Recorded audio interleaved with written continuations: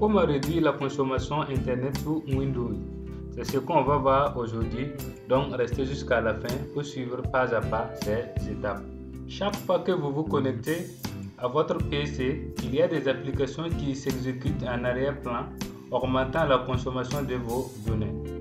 Donc pour corriger ce problème, tapez dans la barre de recherche Service et vous double-cliquez sur Application. Voici l'interface de service. Ici, vous allez chercher Windows Update.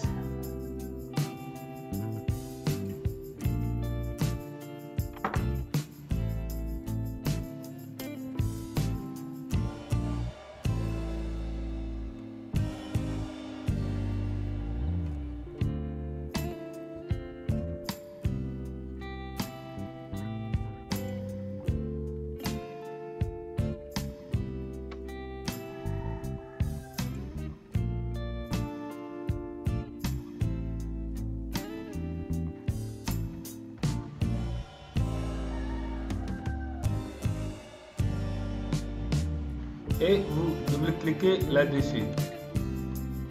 Sous l'onglet général, dans type de démarrage, par défaut c'est automatique, donc vous allez mettre ça désactivé.